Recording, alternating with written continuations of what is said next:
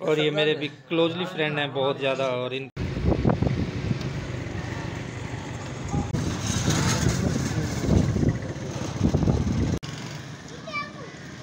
ये हमारे गाँव का जो है ये स्कूल है ना।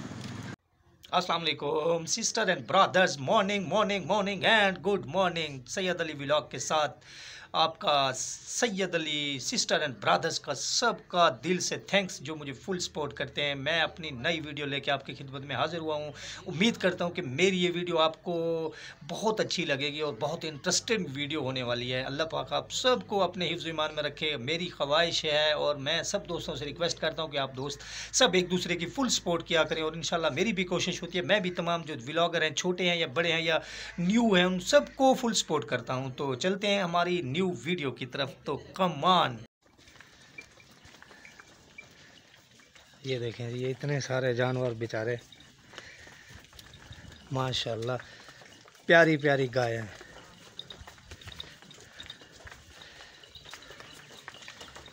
और ये महँगी महँगी गाय हैं, देखें।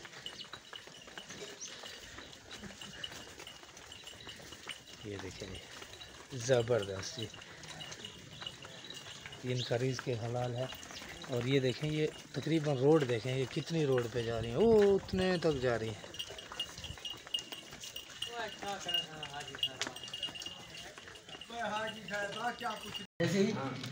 और ये मेरे भी क्लोजली फ्रेंड हैं बहुत ज़्यादा, और इनका नाम फरहान भट्टी है। माशाल्लाह, हमारे गाँव के वीआईपी टेलर्स में से इनका शुमार होता है तो इनसे थोड़ा सा गुफ्तु करते हैं। अस्सलाम वालेकुम भाई, कैसे हैं आप? ठीक हैं? तबीयत से ठीक है? माशाल्लाह गाँव में कपास वगैरह बिक चुकी है शादियों का सीज़न है तो क्या ख्याल है? काम है या नहीं है? ज़बरदस्त काम है। चलें भी बहुत आला भी। और सब खैरियत है जी? चलें कितने सूट सी लेते हैं दिन में? तीन चार तीन चार सी लेते हैं ज़बरदस्त। ये देखें जी हमारे गाँव में ऐसी डिजिटल मशीन नहीं है। हैं ऐसी शादी सी हैं लेकिन ये भाई ने ना अपना जो सेटअप है वो बहुत प्यारा और माशाल्लाह कारीगर भी बहुत अच्छे हैं। और ये देखें जी, ये गाँव का माहौल है जी, ये सीधे साधे लोग हैं, देखें। ना आता ना पता, और ये बच्चों की ज़िंदगी, ये देखें, आराम से खेल रहे हैं, दुनिया से बाखबर, कोई पता नहीं है कि कहाँ पे हैं। फिर एक बार आते हैं अपने मार्केट में, और ये देखें, ये शॉप पे भी सुबह सुबह का टाइम है, बच्चे कोई नाश्ता लेने, कोई कोल्ड ड्रिंक लेने, जिसका जो दिल करता है वो खा पी रहा है, ये हमारे होटल वाले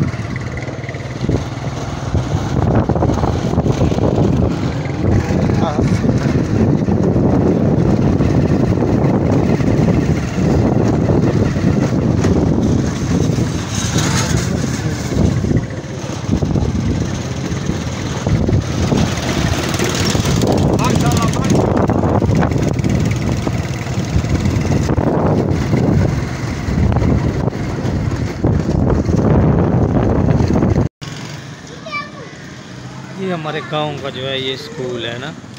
और ये देखें, ये भाई बेचारा छोले लेके जा रहा है सुबह सुबह, ये रोज़ी करेगा।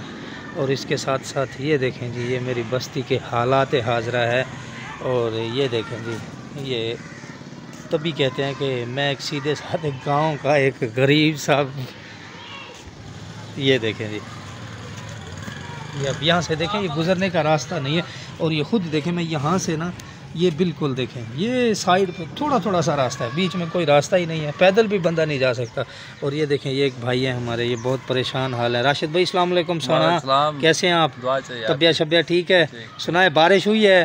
बारिश तो बहुत हुई है बस क्या करें अभी गुजारा कर रहे हैं पानी आ गया अभी बारिश यानी कि रास्ता वगैरह ख़राब हो गया घूम फिर नहीं सकते ना बंदा पैदल भी नहीं जा सकते। ये देखें जी। ये हालाँकि ये शॉप है ये मार्केट। ये जी देखिए जी, रात बारिश हुई है, इतनी गंदगी हो गई है। और ये देखें, जब बारिश होती है, तब हमें फील होता है कि गाँव की जो ज़िंदगी है, सबसे बोर और घटिया ज़िंदगी है।